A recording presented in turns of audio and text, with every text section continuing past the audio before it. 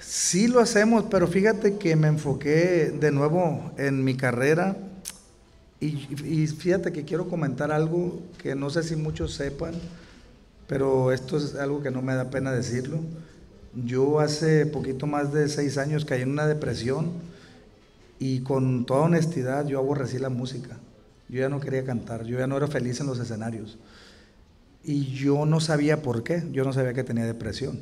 pero fue poco a poco el deterioro emocional hacia cosas que me gustaban a mí como hacer deporte, ya no quise hacer deporte, eh, y la música la empecé a aborrecer de verdad, yo ya no quería cantar, iba a los lugares, y no voy a decir las palabras que decía, pero me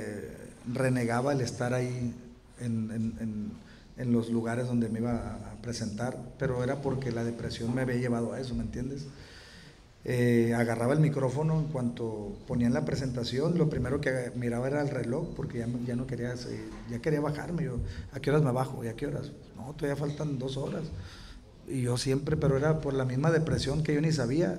Y en junio del año pasado me di cuenta cuando entré a grabar precisamente el corrido de la tostada, donde invité a mi compa Panther y a Larry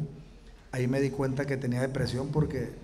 sentí una cachetada y empecé a llorar y, y sí, lo que pensé, lo primero que dije, ¿qué hice todos estos años? O sea, ¿por qué dejé la música? Pero pues entendí que, que era un, un, proceso en el cual estaba viviendo y, y, que pues yo no era el culpable, era pues la depresión es una enfermedad,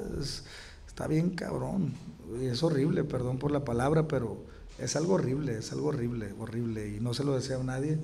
porque te pierdes, es como, yo, yo sabes cómo lo comparo, como las personas que, que usan drogas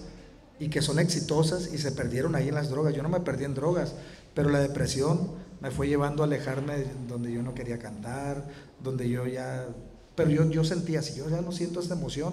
es que mi ciclo ya terminó y está bien. Y yo no estaba triste por alejarme de los escenarios. Cuando me di cuenta que tenía la depresión, sí me dolió mucho, sí me, me sentí muy mal, pero también entendí que era lo que, que estaba viviendo y que me tocaba vivir, la verdad.